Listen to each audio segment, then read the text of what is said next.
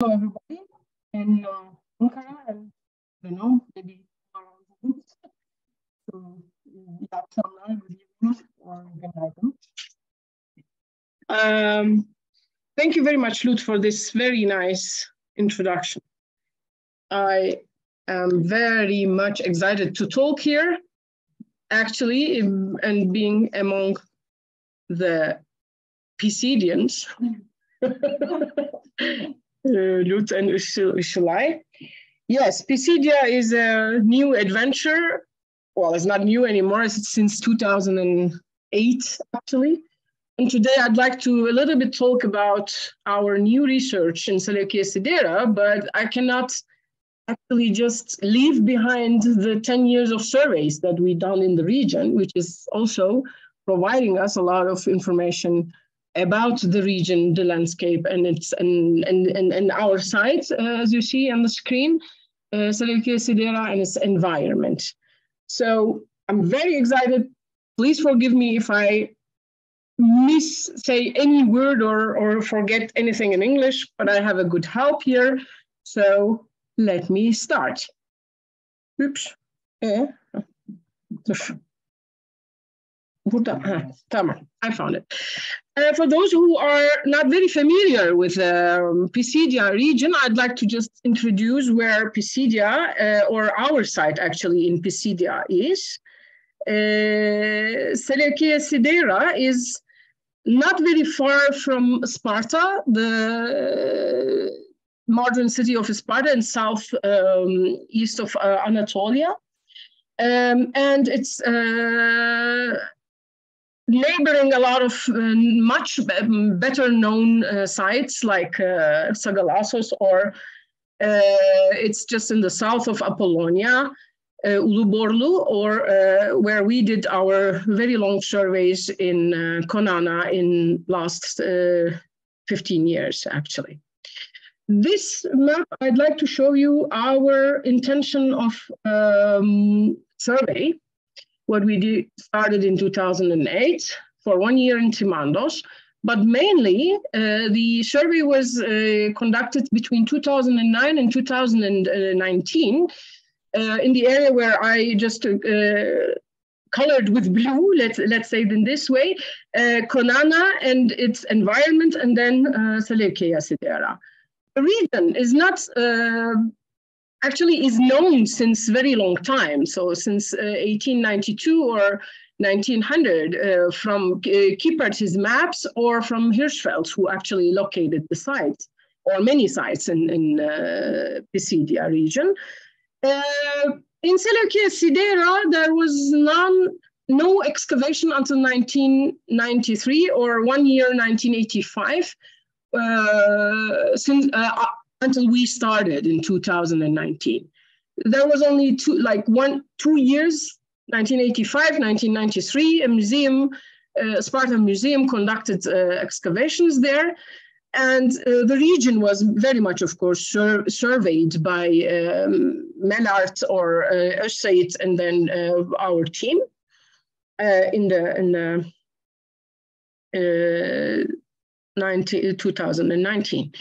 So what we like to do as um, being a very young excavation since five years, we try to bring together actually all the information that we know from the past surveys, uh, from uh, or from Mellaart, what we know. And then we uh, also have a quite good archive uh, from the surveys that we conducted between 2008 and 2019 in the survey area. And then the excavation uh, started in 2017, uh, 2019, but actually the two years excavation, 2017 and 18, uh, was under the museum. Uh, and then we have some geophysical surveys, which I'm going to try to show you. Am I doing something wrong?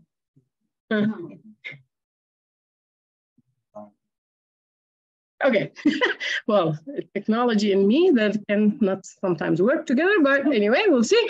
Um, we have a lot, quite a lot of archaeometrical analysis. Paleo, paleo uh, ecology or paleoarchaeology we started in the region to try to understand the region a little bit. And like Lut just mentioned, the intangible cultural heritage, which is my one of the most beloved subjects at the, in the last years is uh, actually going on um, fairly very much. Like every year we really uh, devote ourselves or our budget to try to understand the villages around us, the region around us, which also at the end helps us also to understand the archaeology, actually, what we are finding in the region. So um, with uh, Dr. Çetin Şenkul, who is from my university, we started also a paleoecology uh, project, which is very much undergoing now. It's ongoing a project now. It's not finished, it's just in the beginning, but we have very, really nice results that I'd like to also share with you.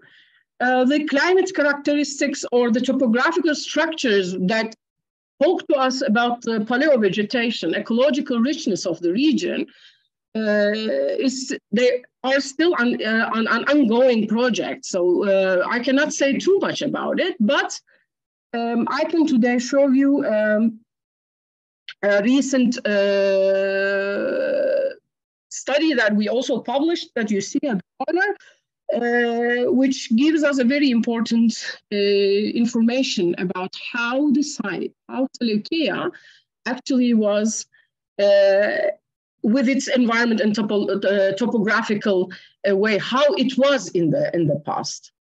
So let me first show you uh, Kiepert's maps. From Kippert maps, we show we see a lake that uh, is in the region just in front of Seleucia Sidera, uh, uh, this one, right?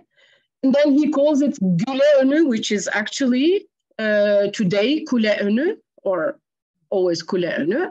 And this is pretty much the picture that, uh, that you can see from Seleucia exactly where Kiepert's map was. And then here you have Kuleönü. So actually the lake that I was showing you today, if you go to the area, looks like this.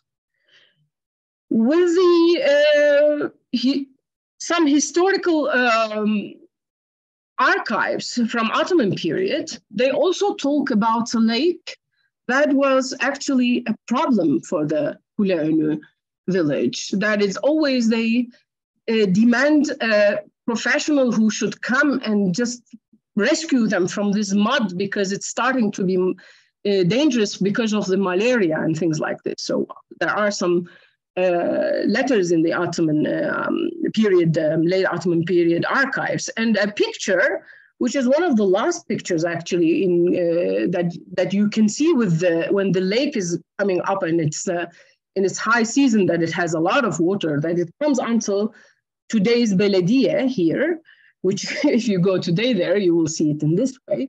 Luckily, that lake was, you can understand why actually in the late Ottoman or early uh, Republic period that they were really demanding this help from, uh, from the state, from, from the main uh, when uh, actually Isparta was at that time belonging to Konya region. So they asked, sending to Konya uh, these letters and asking for for a, for a help of that. So we decided to start to, to, to see if actually uh, we can uh, detect this uh, lake. And with Çetin uh, Şenkul, uh, with his uh, research center in, um, in Isparta, we started a new project. And then here we started to make a lot of cores and then some XRF uh, analysis have been made and uh, also geophysics may have been made close to the site to see where until when and where is the uh, architectural remains actually coming. Uh, and not only that, uh, the, prim the preliminary, preliminary results showed uh, actually that the area was also affected from the Gölcük volcanism. This is still not, not completely finished project. Çetin is still working on it, but it seems like uh, that this whole area was also affected from that uh, volcanism.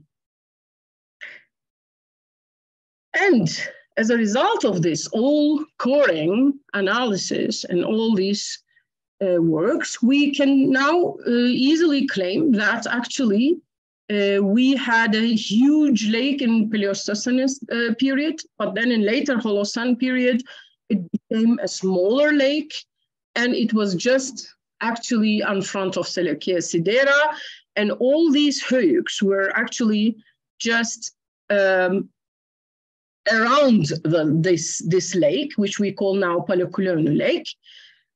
Um, and most likely, uh, if the further analysis will help and, and, and uh, the results comes uh, correctly, uh, this uh, summer we would like to also continue with the coring so we can redefine again the exact border of it, but this is very, pretty much very uh, close to the exact border of the of the Paleokuleönü Lake. This is, of course, not a big surprise, as you know, because this region is also uh, known as a lake region, right? Like Göller bölgesi in Turkish. Uh, and this is also from Ralf Becks his works, the uh, who calls them lakeshore settlements that there are many actually in the in the area uh, for today that we don't even uh, know uh, very much see them, but there are.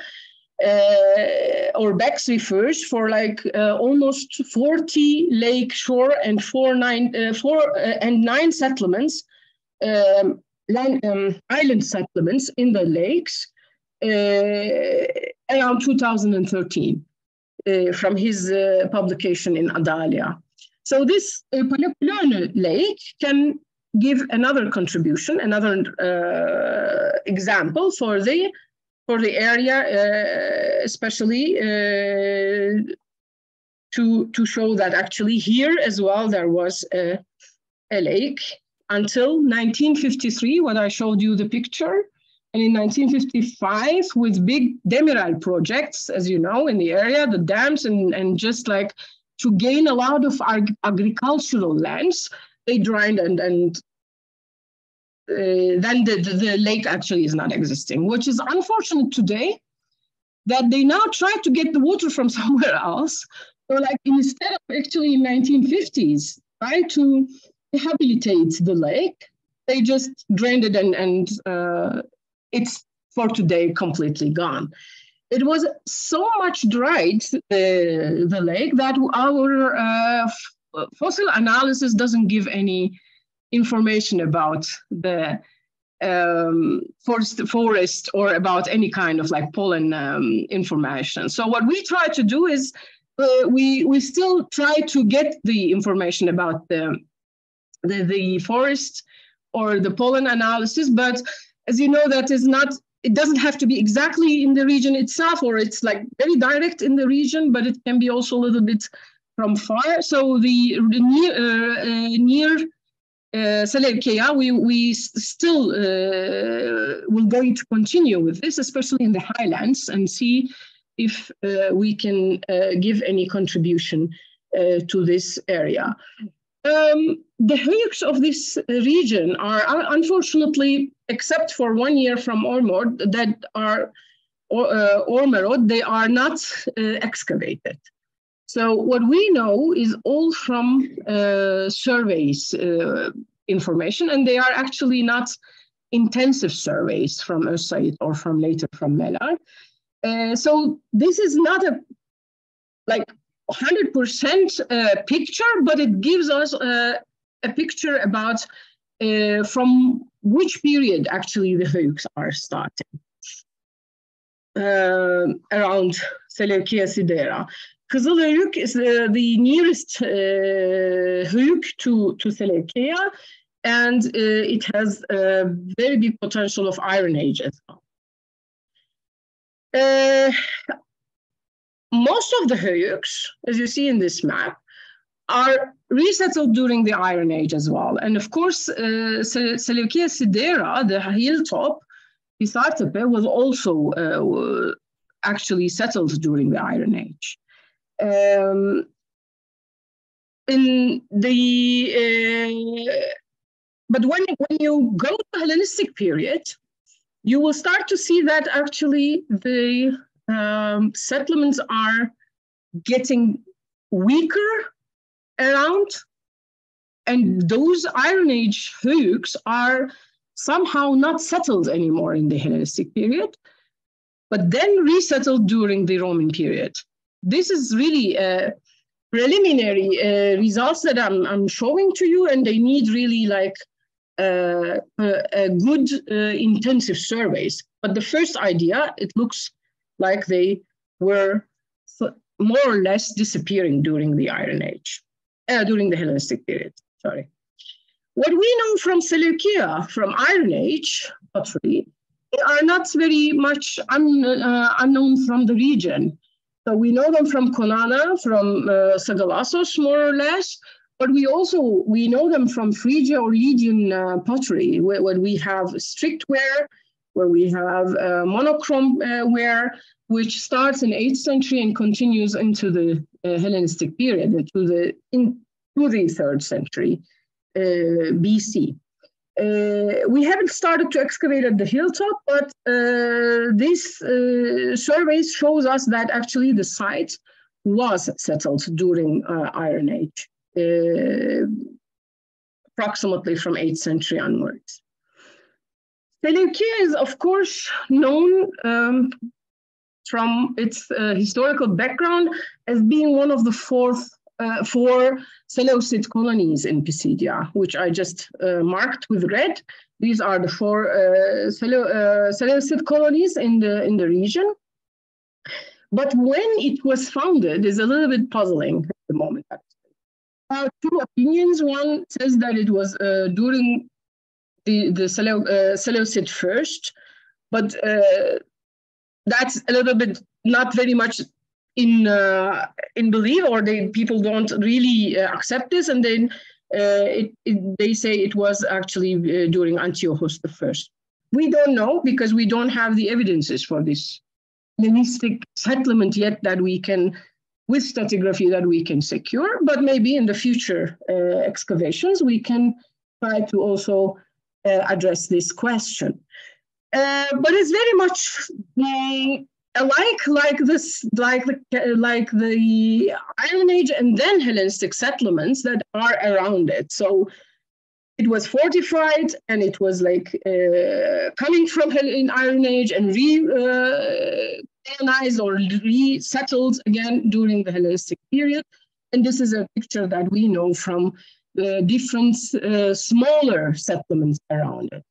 Actually, this um, like Konana for for, uh, for a long period most likely was in the territory of Seleucia Sidera during the Hellenistic period. And then uh, like just like Erannatepe, one of the uh, hills that was a uh, hilltop settlement that was very close to Apollonia, uh, and we uh, surveyed for a long time here, and now it's actually just recently published. Maybe you can see it in the publication.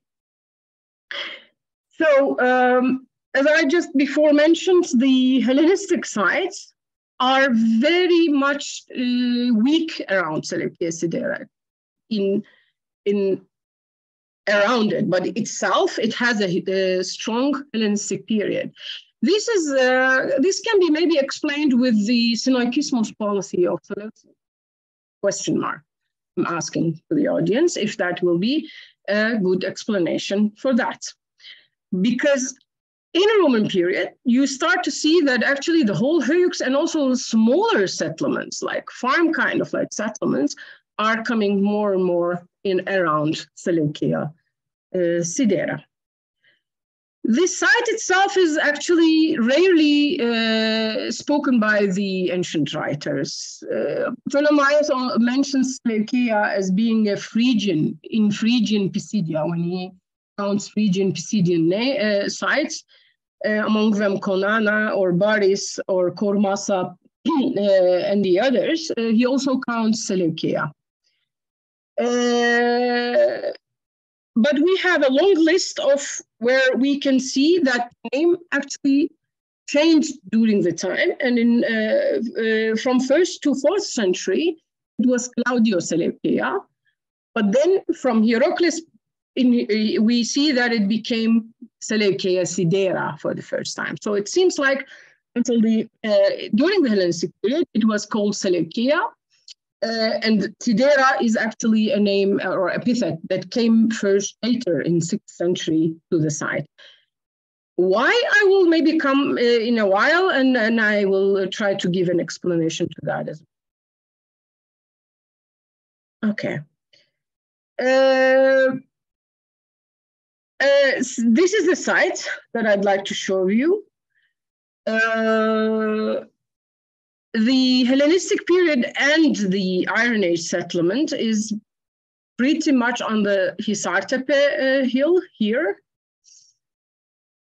And what we know from Hellenistic period is actually this the fortification wall of Seleucia Sidera, which is uh, quite uh, preserved quite well. Uh, the uh, the gates and also the the city wall itself. And then in 1950, in 1985 or 19, 1993 excavations, uh, the theater, which is in a Hellenistic type, of course, reveals a good stratigraphy for the scene building.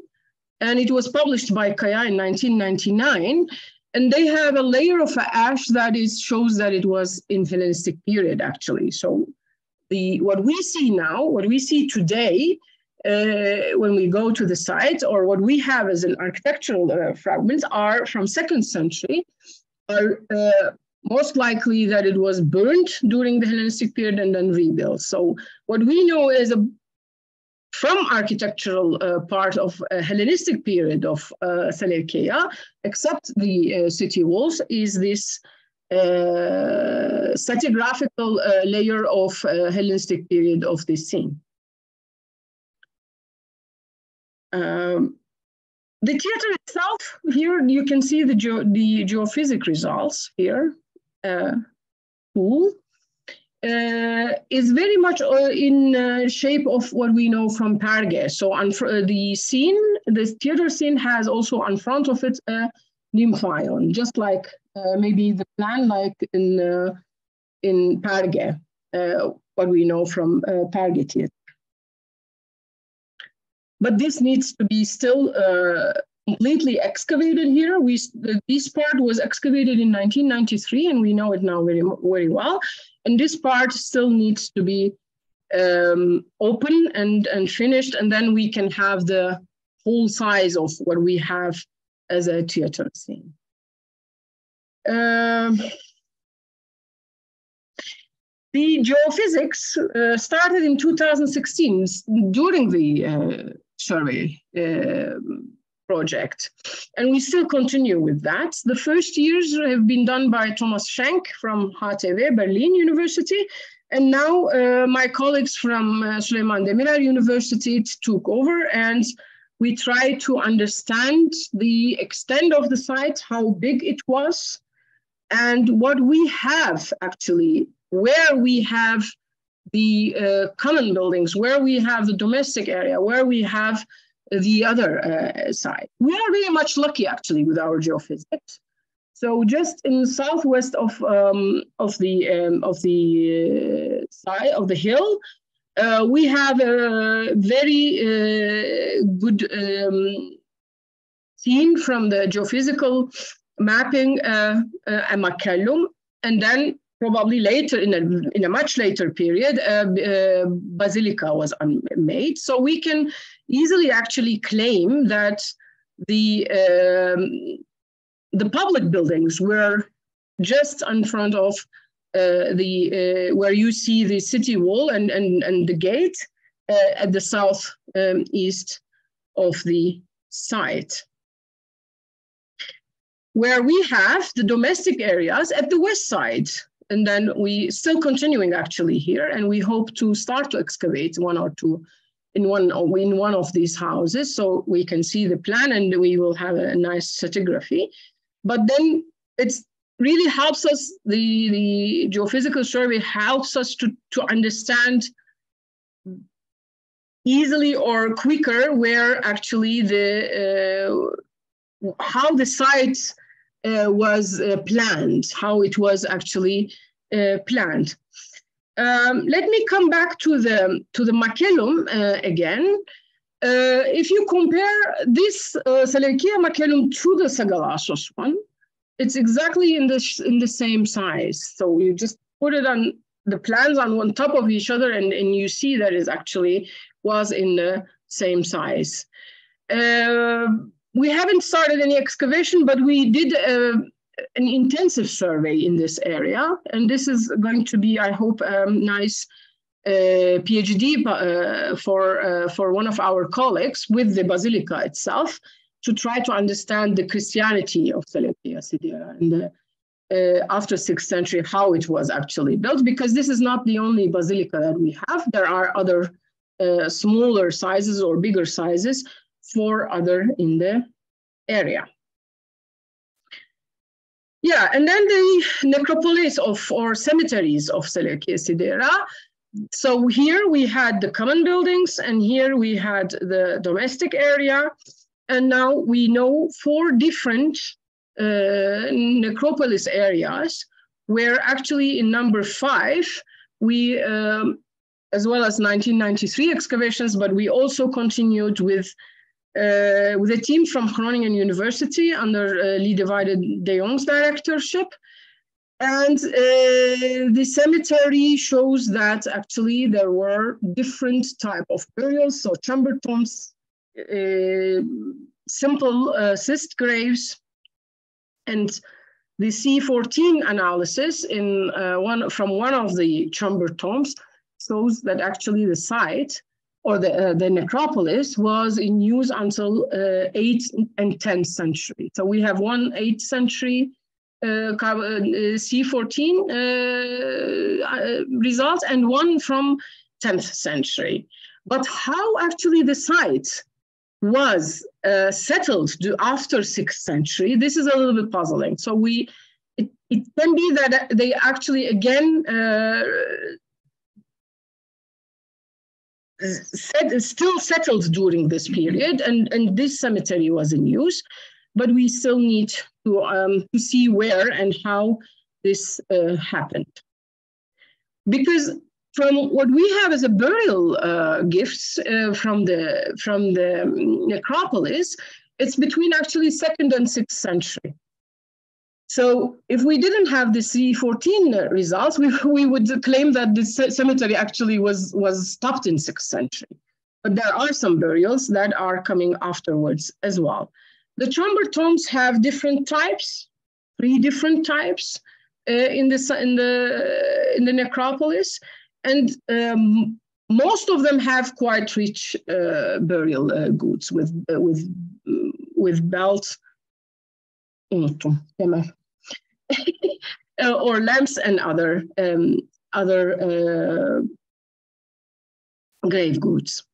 So the burial custom for Seleucia Sidera is not only the uh, chamber tombs and, and easy uh, or simple uh, graves, but in other areas from surveys, we found also sarcophagi and osteotypes. So it shows that in different cemeteries, most likely there were different type of uh, different type of um, burials used for the site. Um, from Isparta Museum, how these were, how these, um, if you, if the question comes, how they were marked, the, so the uh, these graves, from Isparta Museum, we know that are some bust stelae that are known actually in the Seleucid uh, sites uh, in Syria, North Syria as well, and in, in Cilicia. So those are most likely how they were, uh, or one of the typical type. And then there are these uh, very um, simple uh, stelae as well in the center. Our most actually uh, in last years or in recent years, uh, the production and and what they act, production activities of Seleucia This is more or less came by chance or came by um, accident that we are we uh, came across to uh, to many wine presses in the area, and one of them was excavated by my team, and it, it seems like they are uh, from fifth century. So if you, you start to map where the uh, wine presses are. They are. This is from 2018, and you can see that our many uh, wine presses actually was in the in the in the region itself, and it's around the Seleucia, um, around the Hisar Hill. Uh, the pollen analysis for for the grapes and how actually the capacity was is is, is another project that we would like to start with in May in the in the future to see if actually all these uh, wine presses have been producing wine for, for the site itself or how big it was the capacity. Those are uh, really important questions that we would like to um, address. If we I come back for uh, the Sidera epithets, we know that Sidera is actually uh, iron in, in Greek. So Seleucia Sidera, the iron Seleucia or Seleucia the iron uh, we know this from Hierocles, but we have also some numismatic evidences. Rarely, as you know, Hephaestus is depicted on the, on the coins. But in Seleucia, we have many coins from uh, where uh, Hephaestus is actually depicted. And from, from our, oh, sorry, uh, from our surveys in two, uh, two, from 2016 until 2018, actually at the east part of uh, the Hisar Tepe, a lot of iron slags and like 100 kilos of iron slags came in uh, intensive surveys. Not only iron slags, but, uh, but also other materials that are uh, really shows the stages of producing an iron. Uh, so uh, let me come to the uh, yeah so we what we have is actually the iron ore the iron slags itself the bloom and then some iron artifacts and then we uh, not only that also uh, additionally to these archaeometallurgical materials also many iron enrichment stones came in the, in the have been found in the, in the during the surveys. So when uh, the uh, uh, geophysical uh, measurements or surveys have been intensively made in the area, we started to see actually a lot of um, a lot of like uh, together with um, Earth. Um, uh, when you analyze the Earth and then the the iron uh, Smith uh, particles were coming in intensively from these areas. So we decided to open one of them, and then this one, this room came to the light with many materials that shows exactly this region was actually the industrial quarter for the for Seleucia and it was uh, from the stratigraphical um, uh, stratigraphy, we can easily claim it to fifth century. So in this um, in this uh, blacksmith workshop, you have the oven, you have the um, the depot for for the core for the um, kömür coal, yeah, um, and for the uh, and a, lo a lot of unfinished and finished materials also from iron uh, have been uh, found. Uh, not only these uh, iron materials have been found, but also lots of um, also bones came to light. So we found a lot of animal remains uh, from this uh, sector, uh, which shows most likely that actually goat or sheep horns were also also worked in the workshop or just close to it to most likely produce such um, metal whole hand, hands or for, for like knife hands or this kind of things. The um, uh, animal remains are have been uh, started to study it actually just recently in 2022 by uh, John Umney from uh, our colleague John Umney, and he's going to uh, hopefully continue to study uh, or to analyze the material and, and tell us more about what we can find in. Uh, the area is, has many other rooms that are most likely belonging to the industrial quarter and not necessarily only produced iron. I don't want to claim that Sidera is famous with its iron producing. So it was the iron producer of, of, of Pisidia. So they we were, as you know, every city has its own uh, blacksmith. But most likely, or um, this is a question that we should uh, raise maybe, that Sidera was also uh, sending to other sites or to the neighbor uh, sites uh, the semi-worked ones. And then the the um, in between like uh, worked uh, irons to the to the sites but very clearly the east part of the settlement the east part of the hill was dedicated to uh, the industrial quarter in 5th century also many uh, pottery and roof tile uh, misfired uh, uh, fragments have been found in these areas. Here we found a lot of roof tile fragments, and here actually we found, together with, with iron slags, also misfired uh, pottery and a group of red slipped ceramics uh, that have been most likely produced and are in the LRD koine, what we know from uh, Sagala, from Sagalassos, from uh, Poblome and Fırat's publication, that were actually Seleucia, most likely also belonging to the koine uh, of the uh, of this uh, late Roman pottery production of Southwest um, Anatolia. Uh, over 150 archaeometrical analyses have been made. Uh, so there are not only one or two analyses, but it's really secure that this group uh, belongs to Sidera or to a, a, workshop close or near to uh, Sidera.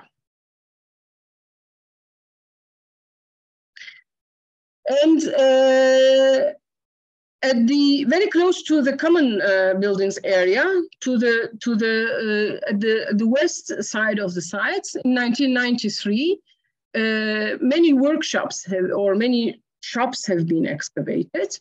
And from what we know from their uh, archive, uh, from uh, Bingo's publication as well, that this area actually was also dedicated to, to a, a bone workshop. So we have unworked uh, bones, semi-worked bones, and then uh, the tools are uh, completely finished tools are, have been identified in the area. Uh, the stone quarry from uh, Seleucia Sidera is actually known since Bean uh, publication. He was there and he uh, nicely published it. Uh, but if these uh, stone quarries are actually the quarry that it, were used for the common buildings architectural um, elements or not, this is still um, this needs still to be examined. But we would like to also uh, survey first and map the area in the in the coming in the in the coming um, periods in the coming campaigns. We do go to the villages around us. We do a lot of work for intangible cultural heritage, and we try also to, map where we can find uh, architectural um, buildings like mud bricks or wood um, architecture and we also talk to the villages and ask them about their life kind of buildings and how it worked and who did them. It's not very easy to find anymore the, the people who are who who can produce mud brick anymore. Um, most of the time, it's it's completely gone. This kind of knowledge from the from the villages, or they are so old that they cannot show us uh, anymore how they build it. Uh, or how they uh, did it, but uh, we try to to map, uh, and then uh, there's a, some, a publication of Süleyman Demirel University, which you can download actually from our university webpage about the um, mud brick houses in in around the Gönen and Atabey area.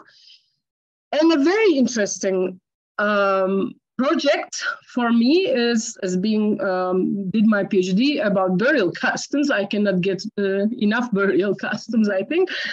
Um, I also try to mm, to um, to map or to understand the burial customs of last 150 years of Isparta. Uh, when I started this, a lot of people said, "Well, they are Muslims. They are. It's all same." But I can already tell you now, it's not published, but it's just an, an ongoing project. There are so many different details or small details that are so many different customs that they are um,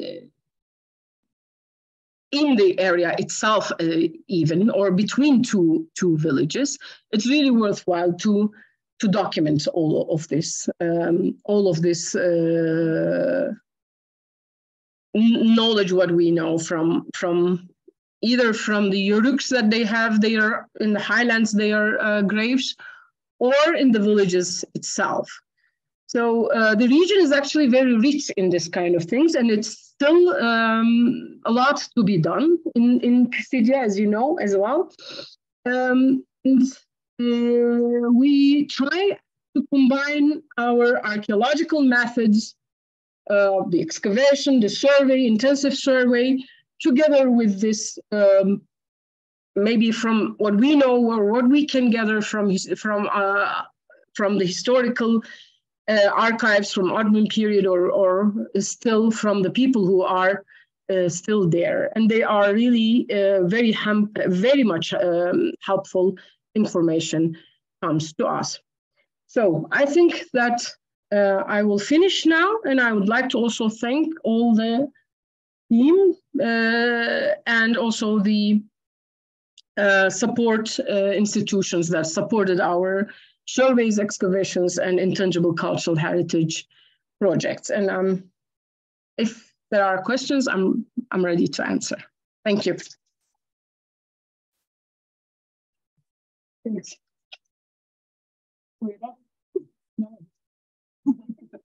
Thank you very much. Uh, I think this uh, for only five years excavation, uh, I must say chapeau. Uh, it's uh, very impressive. And um, I mean, of course, there are quite a few years of um, survey too. So, but um, I'm sure that there, uh, was that the idea? All right, it's back, it's back. We want to be on Yes, it's fine. It's okay. So uh, let's start before we open the, the floor here with the question from uh, Dr. Jack Skelton Wallace um, regards to you. Oh no, okay, that's that's not a question. But uh, anyway, if there are questions, please write them in the Q and A, uh, and then we will uh, read them out here so that everybody here in the in the room can can also sohbet is normally uh, the chat people saying i'm here. So but uh, all right. Then let's first let's first uh, have a look at questions from the room. And then afterwards we will uh, we will have a look whether anybody else is asking us question from uh, online. Elif please. Oh, thank you very much. Um, you can see that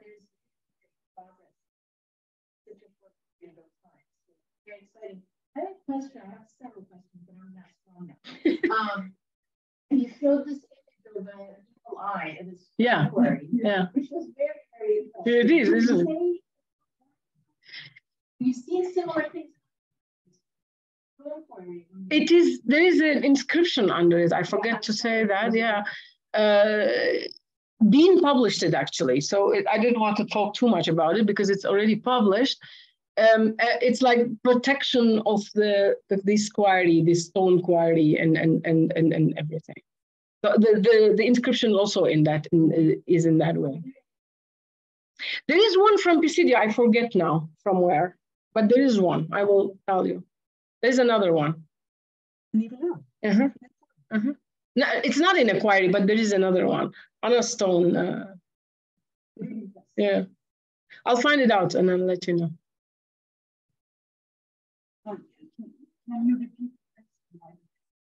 They couldn't hear Uh, the question was, uh, and apologies, we should have uh, thought about that, uh, about the evil eye that was carved in um, in one of the facades of the quarry, one of the faces of the quarry. So that was the question, and the answer was there are others. Anybody else? Then maybe I will also ask a question. I mean, uh, I was very impressed. So um, in your geophysical um, survey, it was very clear that there is a monumental center uh, with the Macellum and then mm-hmm. later also the early Christian basilica. Mm -hmm. um, is this the extended city from the Roman imperial period? And do you have something that indicates that in the Hellenistic period it was all on top of the mount? Or are these the only indications of monumental architecture that you have? I mean, at the moment, because it's not excavated, I understand that. Mm -hmm. Or do, are there traces of monumental buildings and public monuments on the mount as well? Um, there are, there is from Hellenistic period. We know that it is also from the Hellenistic period, is actually not far from that, from that area. It's very difficult to say if this public building area was also in use in the Hellenistic period because I really don't know. But the site in Roman period is really becoming extended to the to the whole valley.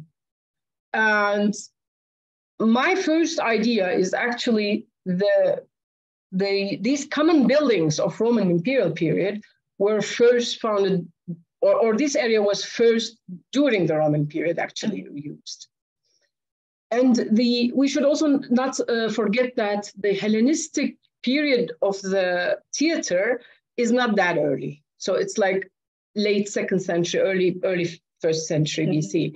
So for me, for now, from the surveys and the others, but that can of course change with excavation, it seems like the Hellenistic settlement was on the hill. And in later period, it started to extend to the to the Ova, to the valley, to the exactly. It will very nice.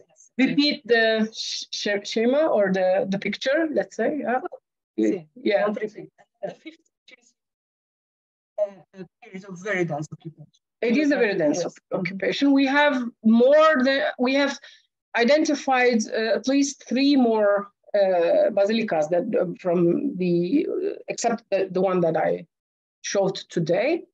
Uh, yeah, I mean.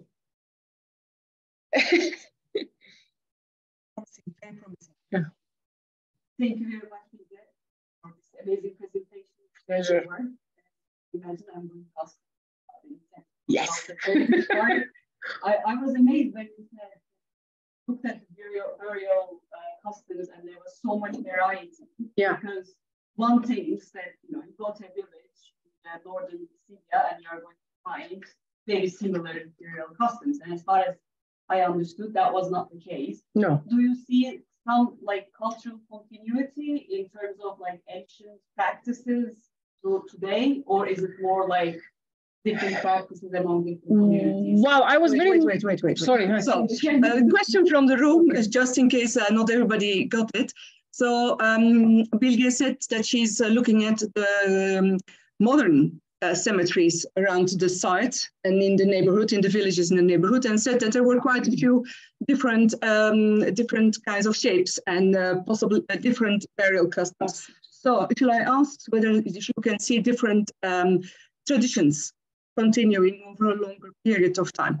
Yeah. Four cases, interesting cases uh, that we identified so far. One of them is in uh, in Isparta itself. In one, there are seven different cemeteries. Uh, four of them are really old ones that they used also in the Ottoman or late Ottoman period.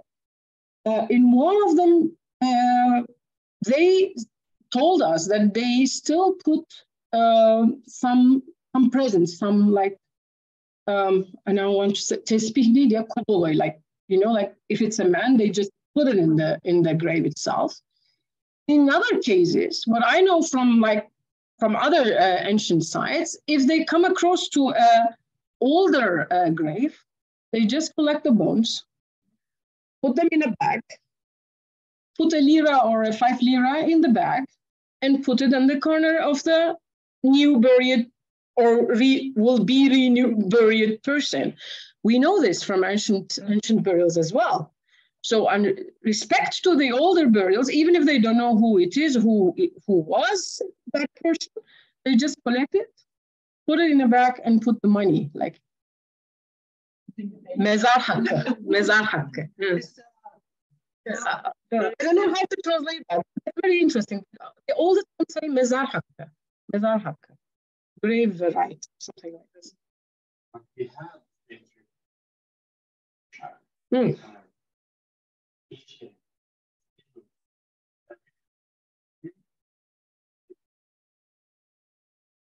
have Hmm. I see. That's very interesting.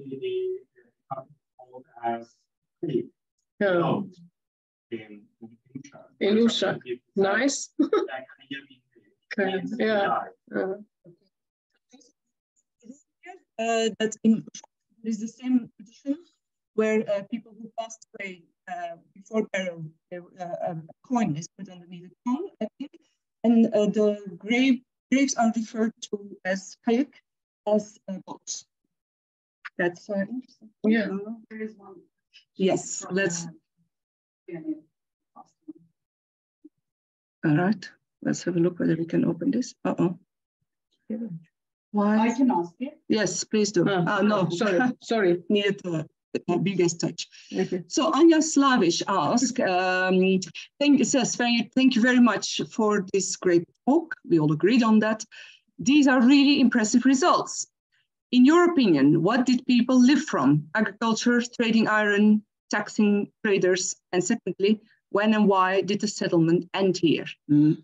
It's a good question for Pisidia. the last the let's start with the last one. I would really like to know when and why the, the site is uh, is ended because Lut will uh, help me in this. I'm sure it's not that easy to say if this if because we don't have later pottery than sixth century in the in the necropolis, so the site is died. That doesn't work for Pisidia. We still need to know how and, and how we're going to deal with the later material, right? So this is a question I cannot answer now, but I know that actually until the Seljuk period, uh, the theater itself was in use, not as a theater, but as a camel um, uh, compound. Uh, because Seleucia in later period, after 6th century, it seems like it loses its importance and Agraia starts to be more important uh, what we know from the from the uh, from the lists. Uh, so this why and how maybe it's also related to the lake that the lake started to be problem in, already in seventh century most likely. But those are questions we really still need to to answer ourselves as well. From what they lived, um, it seems like in sixth century iron was their most important production uh, agriculture, of course. Uh, I mean, for such uh, for such sites is is not uh, very um, uncommon, and wine most likely. I don't want to say they they sent wine to everywhere and they became very rich from wine, uh, but it seems like the wine production was for the site itself and the new and maybe the you know like the, the not the macro economy but for the micro economy it was uh, another tool that uh, was important for the for Seleucia. We always talk about wine. Mm -hmm. What about olives? We don't have any olive. Uh, you know, the, you can separate wine and olive production stones. Yeah, from Clazomenai, I know it very well. It's a little bit different, two types how you, what you have as an equipment. We, so far, we don't have any olive equipments there for, for, for, uh, for olives. And what we know from, again, from like late 19th uh, century Ottoman uh, records, grapes was in Agros, in our region, um, a very common thing to, to produce. So when they uh, talk about the taxes of what they what they uh, had in, in the village, olive is not there. No, it is there now, yes. but not, not by then there is not. So we don't, we need still pollen analysis, more pollen um, work.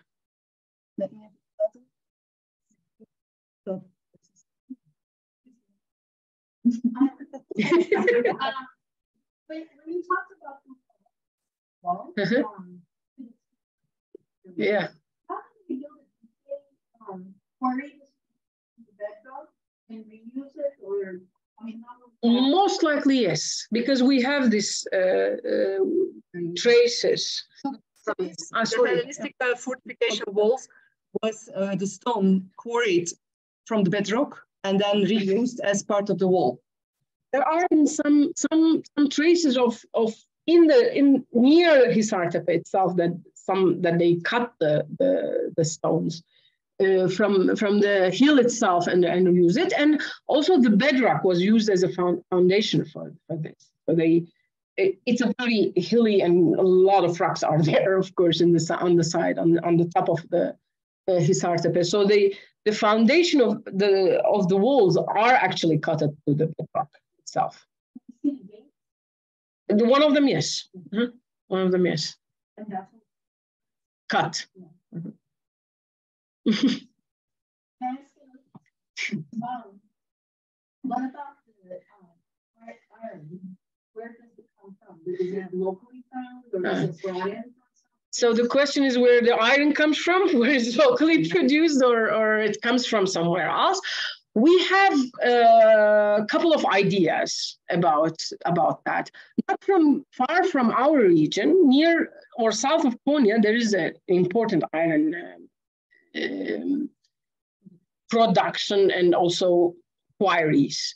We still are in search of where the iron that was from Seleucia close to us or it came from close to us or not. This really needs more analysis. We need to, analyze a lot of um, a lot of things, and this is haven't been done yet. But the survey to to try to understand the um, our our region and what was actually all around the region or the territorium of Seleucia Sidera is going to be a, a nice PhD, I hope in the future years in coming in coming years.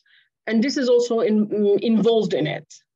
Like Kainaklar, where where they were the resources of what we have. Also the water uh, is a very important question of course. From where did they brought actually the whole water? Because like systems and everything for the hilltop it works. But if you have such a vast big uh, roman period site you also it is not enough. The lake is, is of course, an important water source. Uh, but the question is if it was drinkable water or not drinkable water. This is another project that's going to be done actually in, in next years with some analysis. Uh, so the territoria of Seleucia Sidera needs to be really studied. And this is going to be a, a PhD of one of our team members. Very much for nice presentation. And I will collect data sets from different types of materials and subjects. So, you know, are you sharing your data set or for other people? Because I'm really interested with the digital data management for archaeology and then open access. So, and then also the geophysics results. Uh, and then the paleo-environmental study that around the region. So are you sharing your data sets or are you, do you have a plan? If I'm sharing, yeah. All right. Uh, so the question is, are the, the data sets that we saw from uh, ceramics, uh, geophysics, uh, all the different uh, studies that have been done, are they available? Are they open, stored in open access or? I love to do that. I don't want to keep them for myself. but um, you will agree with me that is not that easy to, to manage the digital arch- archive. First of all, to, to produce such an archive, and I mean, um, like, I have two team members now here, and they're laughing and saying, "Oh God, this is the question that should not be asked to Hoja," because I'm all the time like, "How are we going to do this?"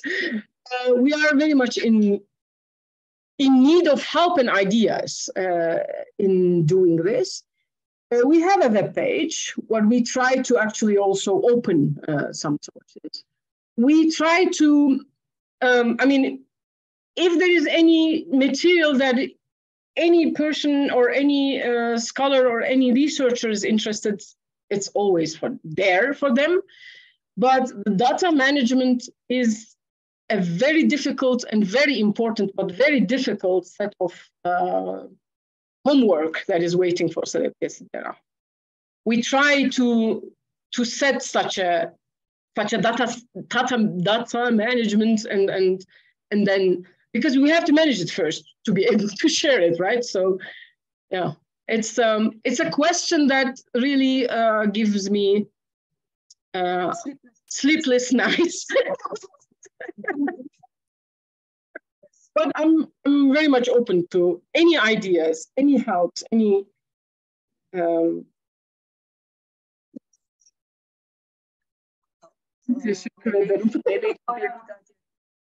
yeah, have a discussion.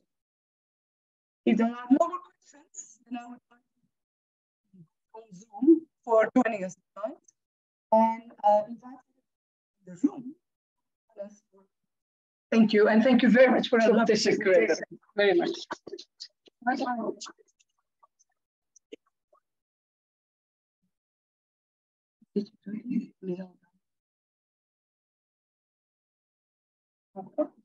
Open you, uh, you can download this this number. Yes, it's